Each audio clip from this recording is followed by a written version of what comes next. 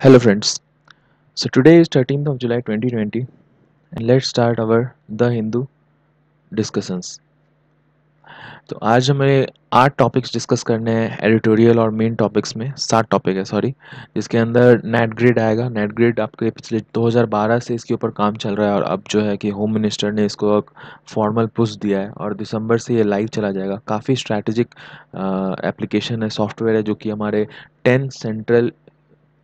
Agencies को help करेगी including रॉ फिर इमिग्रेंट एजेंसी उसके अंदर सारे क्रिमिनल्स या फिर जिसके भी एफ़ हैं ऑल ओवर इंडिया में सब कुछ उसमें अपडेटेड होंगे। उसके बारे में हम लोग डिटेल में पढ़ेंगे।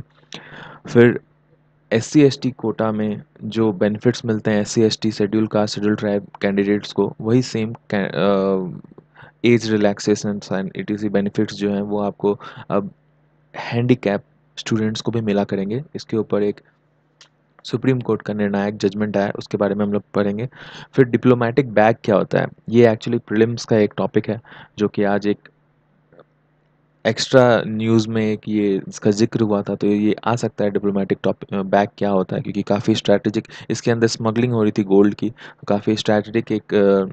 टॉपिक हो जाता है। फिर sure power on India solar strategy तो किस प्रकार से अभी इंडिया ग्लोबली जैसे solar alliance solar panel alliance खोला था हमने, फिर उसके बाद अभी पैंडमिक के टाइम पे अभी काफ़ी ज़्यादा इन्वायरमेंट पोल्यूशन कम है तो किस प्रकार से इंडिया अभी और ज़्यादा इसके अंदर इन्वेस्ट कर सकता है? डिफेंस सेक्टर्स के इक्विवेलेंट इन्वेस्ट करने को राइटर इसमें कह रहे हैं, और कुछ कुछ डायमेंशंस है। ज़्यादा बड़ा टॉपिक नहीं है, छोटा सा हम लोग डिस्कस करेंगे। फिर sum on EU and China dilemma और किस प्रकार इंडिया इस बीच में उस, इस, इन दोनों के टसल में फ़ायदा उठा सकता है, इसके ऊपर ये टॉपिक है। ईयू मतलब यूरोपियन यूनियन तो इसमें तीन, चार, पाँच इंटरनेशनल रिनाउंड लोगों के भी डायलॉग्स हैं दोनों तरफ़ से चाइना और यू की तरफ़ से। तो आप बिल्कुल अपने आंसर में इसको कोट कर सकते हो। खास करके जो इंटरनेशनल रिलेशनशिप के जो स्टूडेंट है पी एस आई आर जिनका ऑप्शनल है, उनके लिए काफ़ी अच्छा एक आर्टिकल है ये। फिर हम लोग देखेंगे nurturing citizens on social studies तो जैसे सी बी एस ई का जो अभी पैटर्न चेंज हो गया है जो अभी कुछ जो सिलेबस उसमें कम हो गया तो उसके ऊपर हामिद अंसारी जो हमारे वाइस प्रेसिडेंट रह चुके हैं फॉर्मर उनका आर्टिकल है। देखेंगे हम लोग। फिर hardly hardly smart about the urban health जिसमें स्मार्ट सिटी के थ्रू कंपैरिजन किया है किस प्रकार से हम लोग स्मार्ट सिटी का एम्बिशन था हमारा, लेकिन हमारा जो हेल्थ केयर सेक्टर है स्मार्ट सिटी में भी सिर्फ़ वन परसेंट उसका एक फैक्टर था। और अभी हम लोग कितना ज़्यादा ग्लोबली और नेशनली डोमेस्टिकली हम लोग कितना ज़्यादा इसमें जूझ रहे हैं तो इसमें इन्वेस्टमेंट की काफ़ी ज़्यादा ज़रूरत है हेल्थ सेक्टर में। फिर इसी से रिलेटेड हम लोग कुछ कुछ ऐसे प्रीलिम्स के फैक्ट्स भी पढ़ेंगे, जो हम लोग हमेशा देखते हैं प्रीलिम्स और बाकी जो, जैसे रिलेटेड फैक्ट्स जो होंगे, जो कि आपके एग्जामिनेशन पॉइंट ऑफ़ व्यू से इंपॉर्टेंट है फॉर एग्जांपल पैसा पोर्टल डिप्लोमेटिक बैग फिर नेट ग्रेड फिर अमिकस क्यूडे क्या होता है। फिर ये आपका जुडिशल टर्म है एमिकस क्यूरी फिर day N M fundamental duties आपको सबको पता है रिवीजन जिसको नहीं पता रिवीजन रिवाइज कर सकता है। सेवेंटी फोर अमेंडमेंट क्या है? स्कोर फ़ंक्शंस ऑफ़ म्यूनसिपैलिटीज़ क्या है? Map of Baltic sea map में बेल्टिक सी देखेंगे हम लोग कहाँ पे हैं। फिर स्मार्ट सिटीज़ क्या है और क्या क्या मेन कोर ऑब्जेक्टिव है? बस ऊपर से एक बार आपका रिवाइज हो जाएगा। फिर जो बीच बीच में अगर कुछ वैसे टर्म्स मिलते रहेंगे द हिंदू वो कैप्स में हम लोग ब्रैकेट में इसको देखता करेंगे। तो हम लोग शुरू करते हैं सबसे फ़र्स्ट टॉपिक हमारा nurturing citizens on social studies तो ये ही आर्टिकल जो है वो हामिद अंसारी साहब ने लिखा है, जो हमारे वाइस प्रेसिडेंट रह चुके हैं इंडिया में। इंडिया के 2007 से 2017 तक 10 साल तक। तो इसमें ये कहते हैं कि जो अभी फ़िलहाल बहुत बड़ा एक जो सिलेबस को डंप किया गया है स्टूडेंट्स के लिए सीबीएसई बोर्ड्स के लिए तो इसके अंतर्गत जो कोर कॉन्सेप्ट्स है बहुत सारा, वो भी लैक कर रहा है। हालाँकि सीबीएसई अपने तरफ़ से बताता है, एक नाइन फीचर डिस्क्रिप्शन उसने निकाला है अपनी वेबसाइट के ऊपर, जिसमें उस, वो बताता है कि जो क्लास इलेवन और क्लास ट्वेल्व के जो बच्चे हैं 2020 से 2021 के बीच में, उनको प्रॉपर फ़िज़िकल, इंटेलेक्चुअल और सोशल डेवलपमेंट प्रोवाइड करवाया जाएगा हमारे कैरिकुलम से। और जो कैरिकुलम है, वो कॉन्स्टिट्यूशनल वैल्यू भी होल्ड करेगा, जिसके अंदर हम लोग socialism secularism democracy republican character justice liberty equality fraternity fraternity फिर आपका ह्यूमन डिग्निटी ये सब चीज़ को हम लोग मद्देनज़र रखते हुए लर्निंग एक्टिविटीज़ को आगे बढ़ाएँगे। इसके बाद वो ये भी कहते हैं कि बहुत सारे ऐसे फीचर्स जो हैं जो प्रियम्बल में हमारे कॉन्स्टिट्यूशन ऑफ़ इंडिया के बताए हुए हैं, वो सब भी हम लोग इसके अंदर इनकलकेट करके उनकी लर्निंग आगे बढ़ाएँगे। फिर आइटम फोर जो है, जो साइलेंट फीचर्स जो वेबसाइट में उन्होंने निकाला है, वो ये भी कहता है कि हम चाहते हैं कि नर्चर हो लाइफ स्किल और जो भी प्रिस्क्राइब करिकुलर है, उसके अंदर हम लोग कोऑर्डिनेट करें सारे एक्टिविटीज़ जो कि एक बच्चे की सेल्फ स्टीम एम्पैथी ये सब सारा कुछ अपने कल्चर डिफरेंट कल्चर्स के प्रति वो उसकी जागरूक करती है। ये देखिए वर्ड ये डिफरेंट कल्चर है यहाँ पे। इसके ऊपर अभी फिर आगे ये देखते हैं राइटर वो कहते हैं कि डिफरेंट कल्चर यहाँ मेंशन है। लेकिन फंडामेंटल ड्यूटीज़ जो हमारे आर्टिकल 51 में मेंशन है कॉन्स्टिट्यूशन का, वो इनको नहीं पढ़ाया जा रहा है। और दूसरा बात कि डिफरेंट कल्चर्स इनको बोल के पढ़ाया जा रहा है। तो डिफरेंट कल्चर्स नहीं, यहाँ पे फंडामेंटल ड्यूटीज़ में हम लोग क्या लिखते हैं? कंपोजिट कल्चर देखिए ये जो values and prescribe the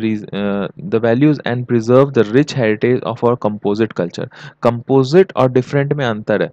जैसे यहाँ पे ये लिखते हैं कि of duties the value and preserve the rich heritage of our composite culture ये होता है हमारा ड्यूटी मेन लेकिन कंपोजिट और डिफरेंट में क्या है? कंपोजिट मतलब जो एक के ऊपर एक लेयर बनाकर एक संगठित कोई चीज़ हो। जैसे कि हमारा जो ग्राउंड है सॉइल जो हमारा है, वो कंपोजिट स्ट्रक्चर है। ये नहीं कि डिफरेंट मतलब ठीक है डिफरेंट उसमें है, बहुत सारे लेयर्स जो हैं अलग, लेकिन वो कहाँ पे जाकर ख़त्म होता है और कहाँ से शुरू होता है, ये जब आपको पता ना चले तो वो हो जाता है कंपोजिट स्ट्रक्चर जैसे कि दूध और पानी अगर आप मिक्स करते हो तो या फिर ऑयल और पानी अगर आप मिक्स करते हो तो दोनों अलग अलग लेयर्स हैं दोनों अलग अलग सब्सटेंस हैं लेकिन वो कहाँ पे ख़त्म होता है कहाँ पे वो शुरू होता है ऑयल और आ,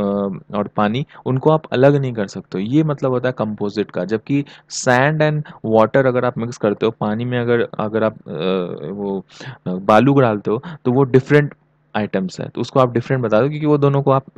ईजिली सेपरेट कर सकते हो चाहे छन्नी से छान करके उसको अलग कर सकते हो। तो ये जो एक एक मिस्टेक है, वो कहते हैं हामिद अंसारी, ये बहुत बड़ा मिस्टेक है और ये एक तरह का सा मतलब ये ब्रिज करने की ये लोग कोशिश किए हैं कि shorter version of C B S E curriculum जो है, वो एक तरीके से इस चीज़ को जो ब्रिज कर रहा है, वो बिल्कुल भी हमारे कॉन्स्टिट्यूशनल वैल्यूज़ को अंडरमाइन करता है और इस तरीके के जो वैल्यूज़ को अगर आप अंडरमाइन करेंगे तो बिल्कुल भी आपके जो जैसे हमारे फंडामेंटल ड्यूटीज़ में बताता है कि साइंटिफिक टेम्पर ह्यूमनिज़म और ये सब सारा कुछ को आ, नहीं आ, वो दर्शाता है और वो चीज़ को आपका कहीं ना कहीं वो चीज़ लॉन्ग टर्म में वो कम हो जाती है। और सिर्फ़ इंडिया ही में ऐसा कुछ हो रहा है, बाकी ग्लोबल पैंडमिक सब जगह ही कोरोना आया है, लेकिन ग्लोबली इस चीज़ के ऊपर कॉम्प्रोमाइज़ किसी ने नहीं किया कि वो अपने फंडामेंटल या कॉन्स्टिट्यूशनल वैल्यूज़ को आगे चल के जो है, जो उनको वो नहीं पढ़ाएँगे अपने बच्चों को। क्योंकि ये किसी भी डेमोक्रेटिक सोसाइटी के अंदर जो मेथडोलॉजी है नर्चरिंग का मतलब किसी बच्चे को पढ़ाने का, उसको बड़ा करने का, वो बहुत ही ज़्यादा सिग्निफिकेंट होता है और किसी भी पैंडमिक की वजह से या फिर कोई एक महामारी की वजह से इन सब चीज़ को आप पीछे नहीं सोच सकते। क्योंकि अगर वो जैसे याद करते हैं सिक्सटी फ़र्स्ट अमेंडमेंट जो 1988 में हुआ था तो उस टाइम पे हमारे इंडिया में, हमारे इंडिया में शुरू से यूनिवर्सल अडल्ट सफरेज रहा। तो लेकिन पहले जो है 21 साल की उम्र हुआ करती थी, लेकिन फिर बाद में उस समय ऐसा कहा गया, राजीव गांधी के प्राइम मिनिस्टर के टाइम पे कि 21 से घटाकर 18 साल कर दे, क्योंकि अभी के हमारे जो यूथ हैं, वो काफ़ी ज़्यादा अवेयर हैं अपने फंडामेंटल राइट्स के बारे में, अपने सोसाइटी पॉलिटिकल रिजीम्स के बारे में तो वो इसमें भाग ले सकते हैं। तो उस समय ऐसा क्यों कहा गया? क्योंकि हमारा वो उस टाइम पर ऐसा हमारा करिकुलम था सी e का, क्योंकि क्लास ट्वेल्व जो है, वो किसी, कोई भी बच्चा सोलह, सत्रह साल तक पढ़ लेता था। तो इस वजह से हम लोग पॉलिटिकली जो कॉन्सियस थी हमारी जो यूथ है वो तो जिस वजह से हम लोग ये, इस तरह का डिसीज़न ले सके। लेकिन लेकिन अब का ऐसा करिकुलम अगर ये जैसे जेटिफाई कर दिए हैं मतलब कम कर दिए हैं तो इसमें बच्चा जो है वो सीख ही नहीं पाएगा कि उसको किस बारे में वोट देना है, उसके क्या क्या राइट्स हैं क्या क्या ड्यूटीज़ हैं। तो वो फिर उसके बाद क्या है प्राइवेट किसी दूसरे जगह से वो सीखने की कोशिश करेगा, जहाँ पे हो सकता है कि वो प्रिजुड्यूस हो जाए डेमो डेमोगुलाई गोगली मतलब ये ऐसा है कि जैसे बाई चांस जैसे कोई भी अपना प्रोपोगंडा चला देता है किसी भी तरीके का, जैसे कि आप जैसे देखते हो गए आजकल ई सी टी सी किसी भी तरीके का प्रोपोगंडा बिना किसी फैक्ट्स का जो व्हाट्सएप यूनिवर्सिटी पे चलता है। तो ये सारा कुछ जो है वो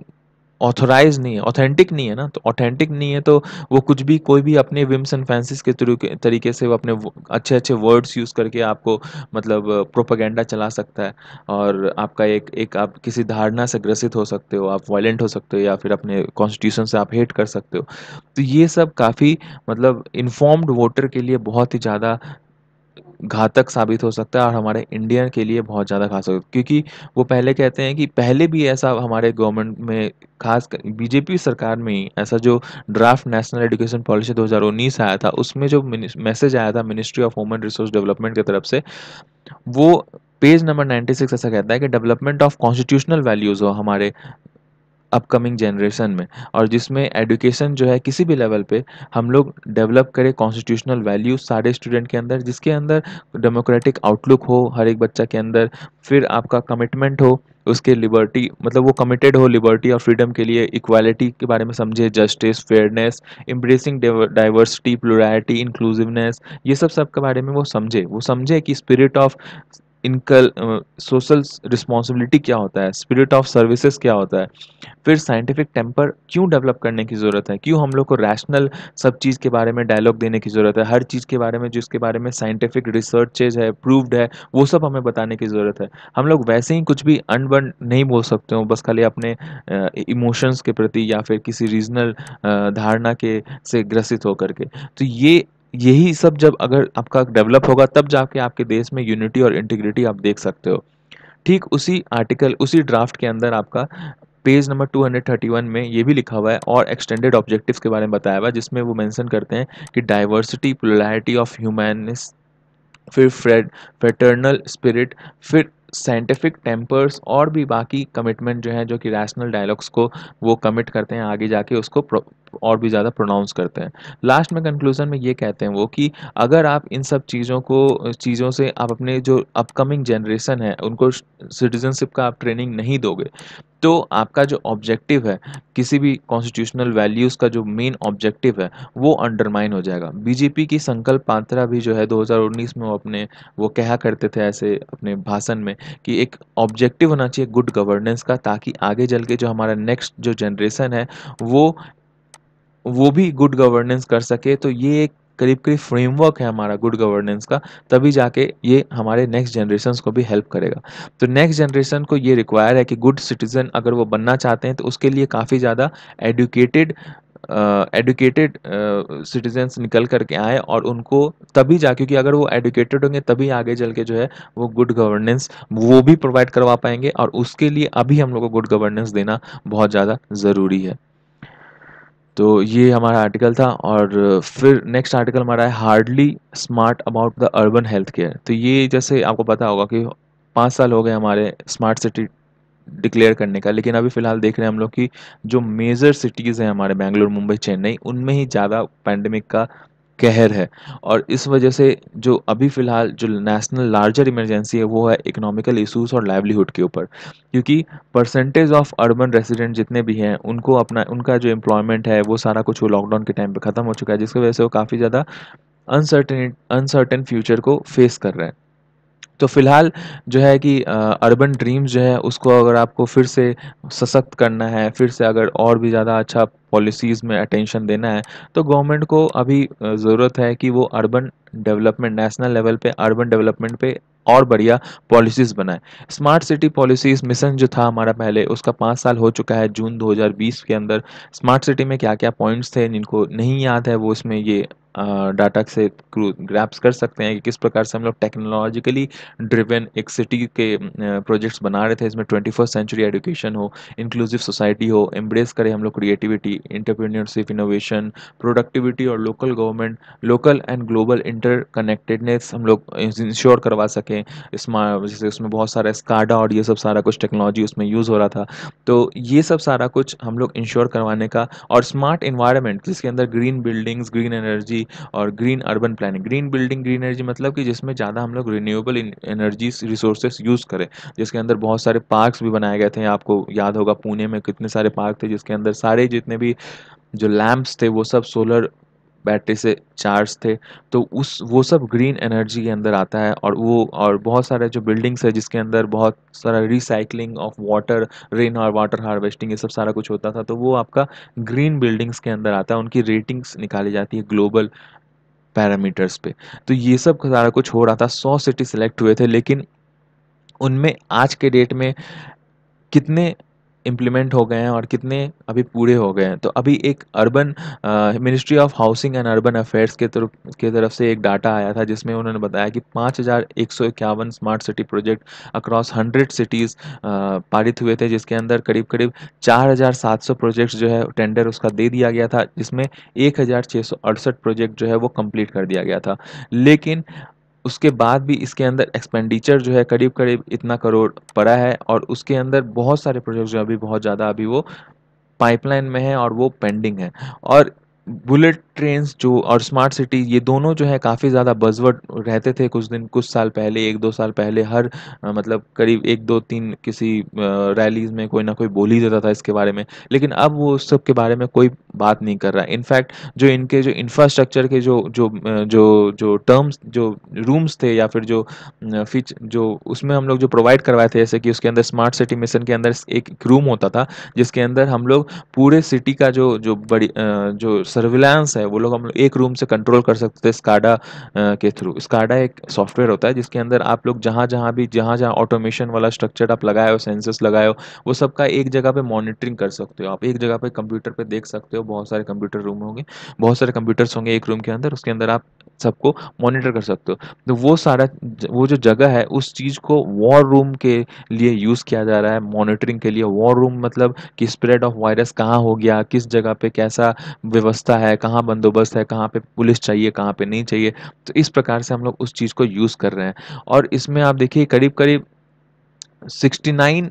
ऐसा प्रोजेक्ट्स है आपके टोटल पाँच हज़ार में, जिसके अंदर जो हमारा मिशन मोड पे हेल्थ इंफ्रास्ट्रक्चर काफ़ी बढ़िया है। और उस टाइम पे भी जब स्मार्ट सिटीज़ में आपका जब बजट जब दिया गया था तो उसमें पूरे बजट का सिर्फ़ वन परसेंट ही टोटल मिशन कॉस्ट में सिर्फ़ वन परसेंट ही आपके हेल्थ इंफ्रास्ट्रक्चर के ऊपर खर्च करने की बात कही गई थी। लेकिन अभी इस समय हम लोग पैंडमिक में हम लोग बिल्कुल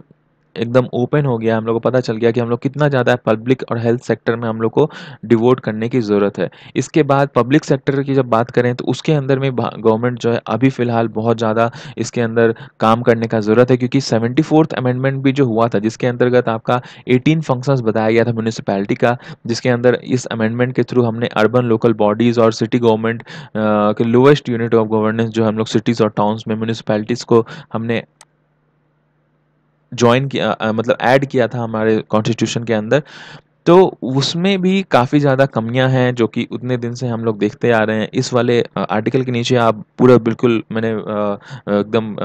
प्रोसेस वे में स्ट्रक्चरल वे में उसके बारे में कमियाँ को लिखा है, वो आप देख सकते हो। फ़िलहाल आर्टिकल में देखते हैं कि ये क्या कहते हैं। वो ये कहते हैं कि जितनी भी कमियाँ हैं, उनको स्ट्रेंथन करने की बहुत ज़्यादा ज़रूरत है, क्योंकि अभी कोविड नाइन्टीन के टाइम में हमें ग्राउंड लेवल पर हम एक्सपोज हो चुके हैं हमारी कितनी वीकनेसेज है। हमें अर्बन लोकल बॉडीज़ को और भी ज़्यादा फाइनेंशियली और एडमिनिस्ट्रेटिव एडमिनिस्ट्रेटिव पावर्स देने की ज़रूरत है क्योंकि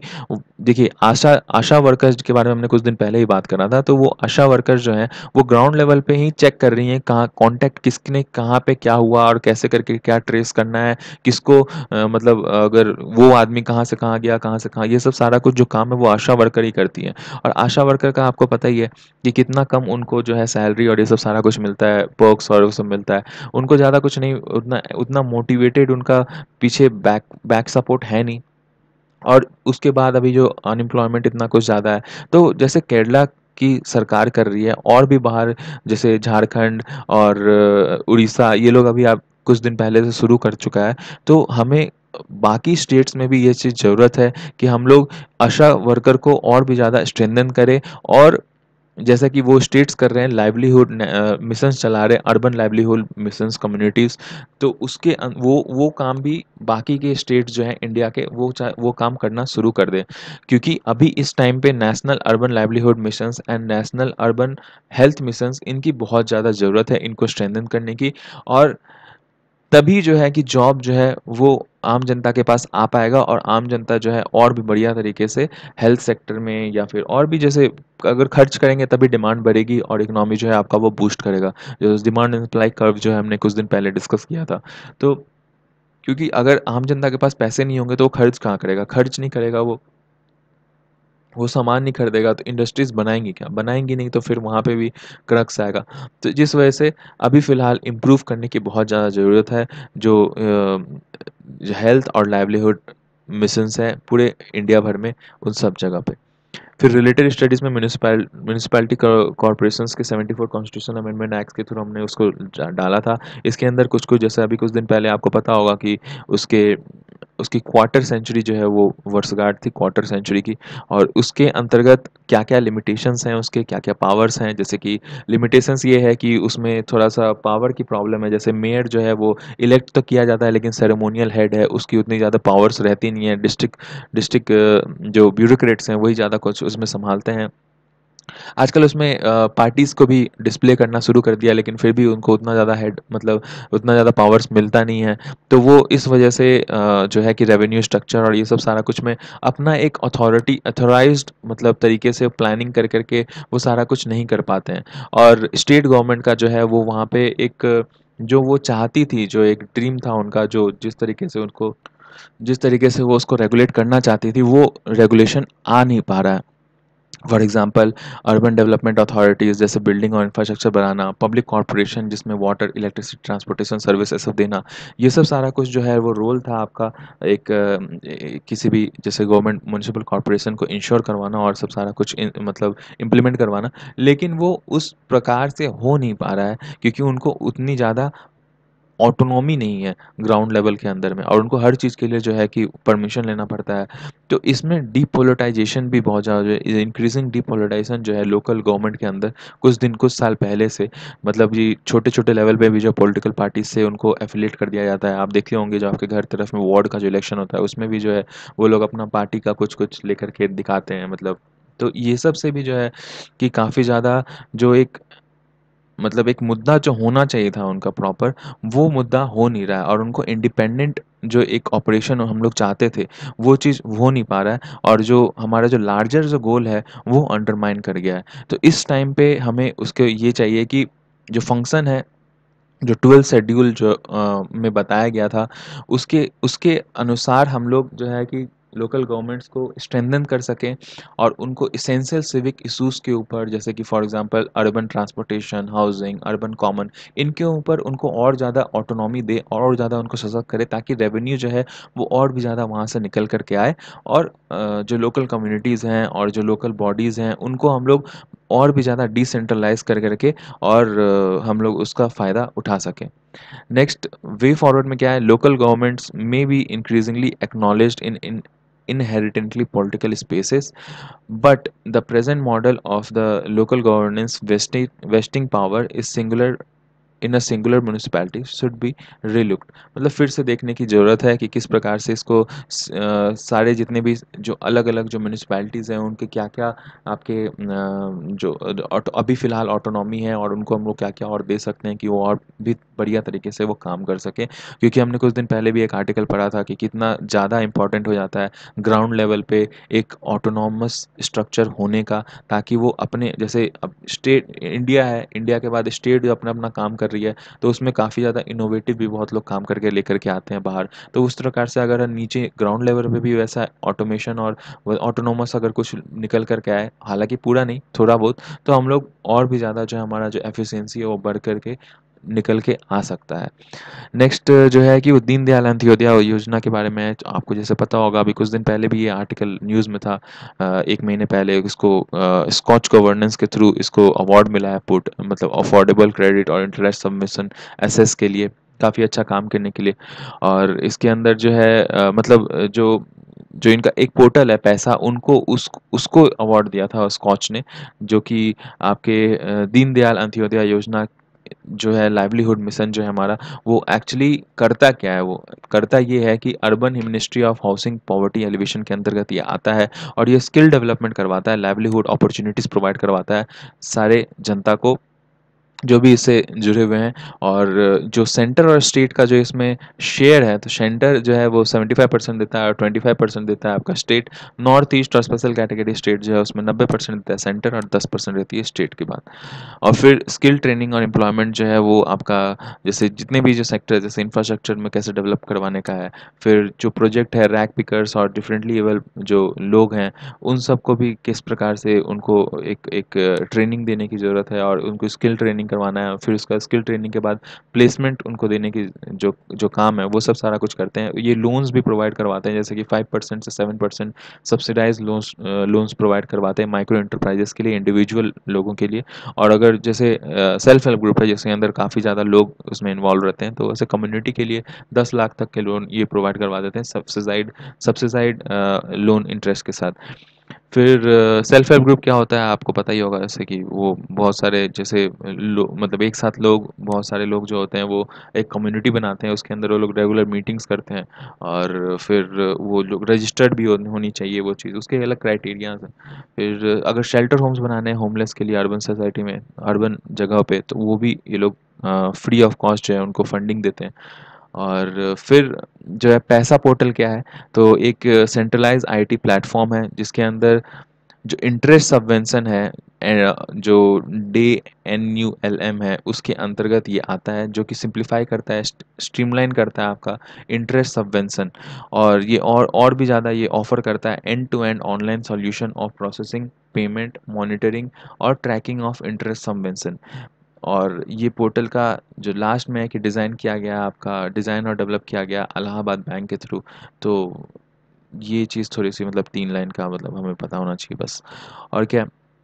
sum and substance of EU China dilemma तो इसमें क्या, अभी देखिए चाइना का जैसे जो बढ़ता हुआ हमारा, आपको पता ही है कि अभी फ़िलहाल कितना ज़्यादा साउथ चाइना सी में एग्रेसिव है, हम लोग बहुत मतलब बिल्कुल holistically in and out China के बारे में सब कुछ पढ़ चुके हैं। तो ये सारा कुछ सिर्फ़ हम ही लोग नहीं देख रहे हैं, ये ईयू भी देख रहा है यूएसए भी देख रहा है, फिर यूएसए और चाइना के बीच में जो टसल चल रहा है तो इस बीच में अभी यू का क्या चल रहा है, उसके ऊपर ये पूरा आर्टिकल है। तो इसमें विजय गोखले लिखते हैं, वो फॉर्मर हमारे फॉरेन सेक्रेटरी रह चुके हैं और फिर फॉर्मर एम्बेसडर भी रह चुके हैं जर्मनी और चाइना के अंदर। तो इनको ईयू का भी अच्छा पता है और आपका चाइना के बारे में पता है। और इनका नाम आप लिख करके डायरेक्ट आंसर में कोट कर सकते हो, बिल्कुल ऑथेंटिक है, कोई दिक्कत नहीं तो ये कहते हैं कि एशिया जाइंट जो है, उसको चाइना के इकोनॉमी के लिए वो काफ़ी ज़्यादा ज़रूरी है। ये चाइना, ये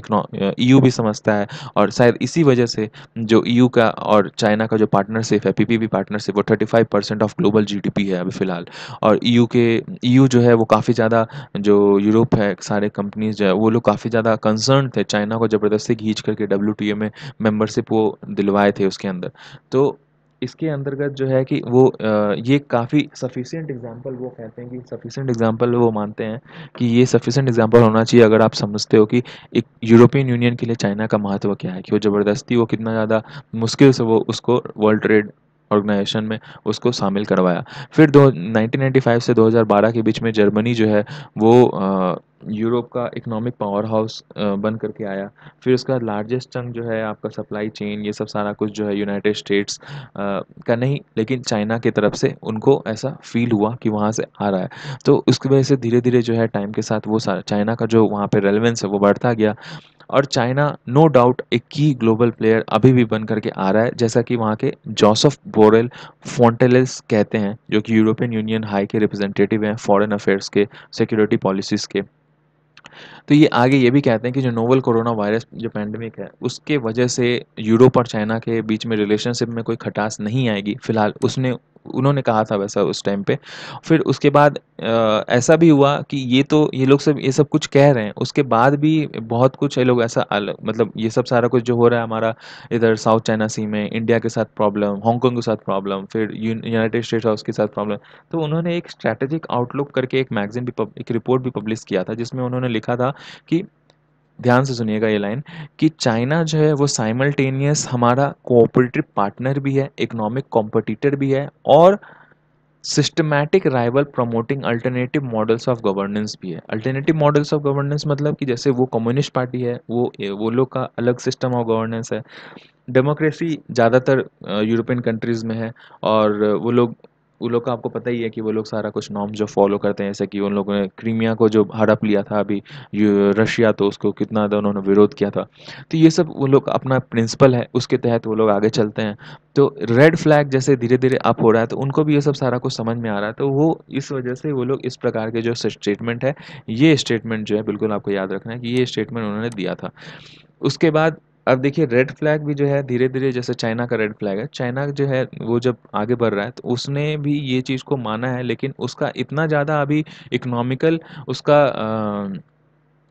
सिग्निफिकेंस है वर्ल्ड में कि उसको यूरोपियन यूनियन जो है, अपने सिक्योरिटी को अंडरमाइन होता हुआ देखते हुए भी उस चीज़ को वो बिल्कुल दरकिनार नहीं कर सकता है, चाइना को छोड़ नहीं सकता है। सिक्योरिटी कैसे अंडरमाइन हो रहा है कि अभी देखिए बाल्टिक सी यहाँ पर आता है तो ये बाल्टिक सी है आपका, ठीक है? ये रशिया का यहाँ से बॉर्डर आता है, जो सामने सामने स्टॉकहोम्स है आपका, फिर इधर आपका ये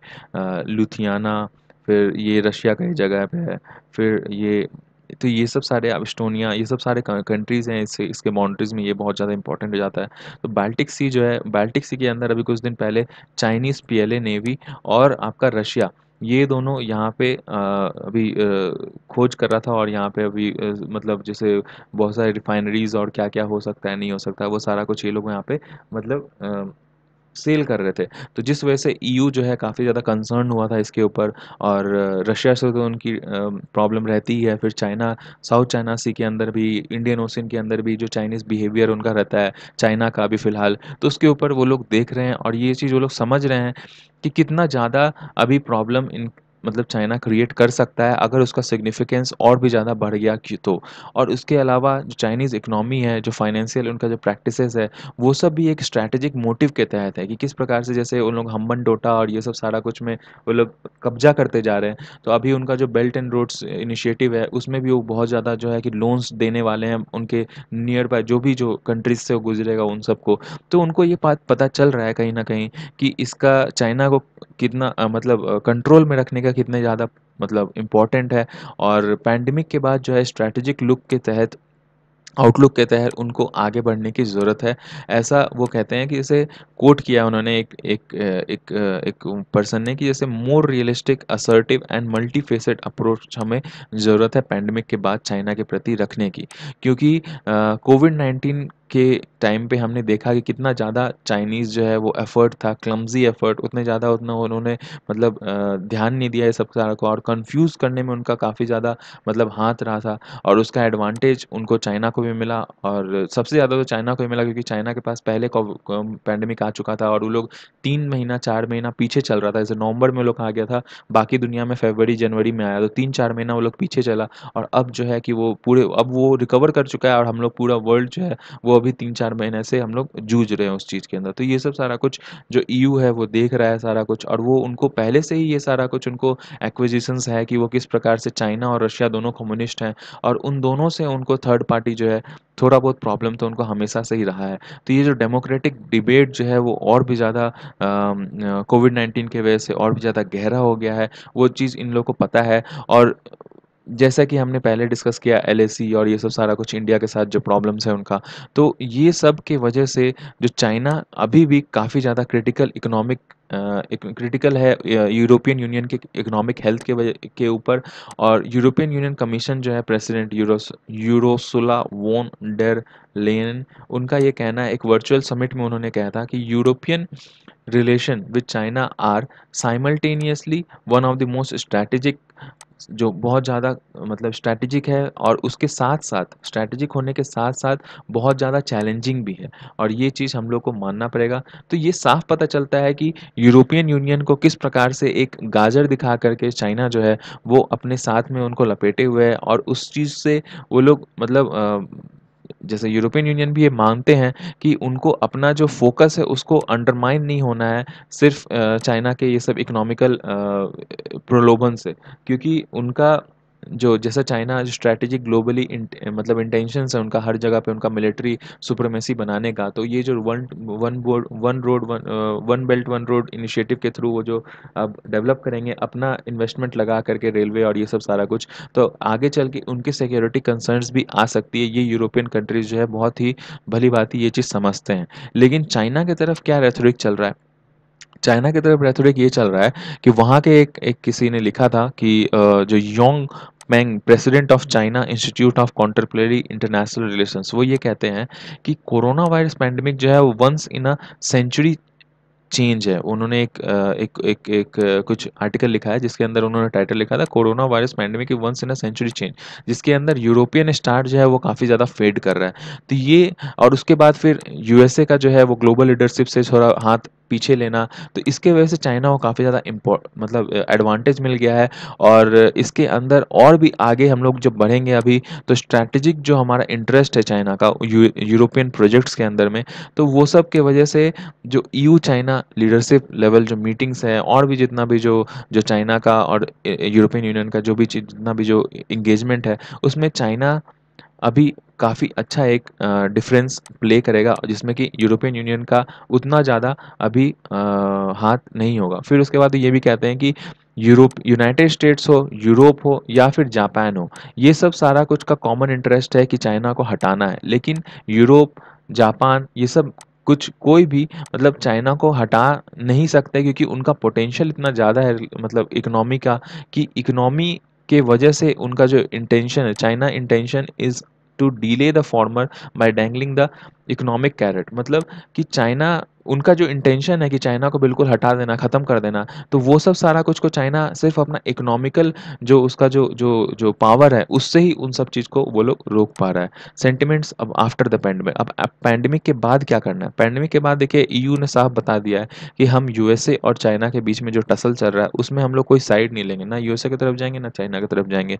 क्योंकि उन्होंने ऐसा वहाँ पर बयान दिया है, जारी किया है। और यूरोपियन कंट्रीज़ भी बहुत सारी कंपनीज़ जो है, वो भी बहुत सारा समझती है। उनको ऐसा लगता है कि जो सी जिनपिंग है, वो इस पैंडमिक के बाद एक अच्छा जो फंडामेंटल रिफॉर्म है, वो लेकर के आएँगे। जैसा कि पहले के वहाँ के जो रूलर्स रहे हैं, वो लोग भी किए हैं, जैसे डेंग जियांगपिंग और जू रोंगजी ये लोग जो है 1992 1998 रेस्पेक्टिवली में, ये लोग भी रिफॉर्म मतलब उनके टाइम में पैंडमिक आया था और वो काफ़ी अच्छा रिफॉर्म्स लेकर के आए थे, जिस वजह से वो लोग अभी प्रलोभित है उस चीज़ में। यूरोपियन कंपनीज़ अभी भी ऐसा मांगती है कि काफ़ी ज़्यादा पोटेंशियल है आपका चाइनीज़ मार्केट में।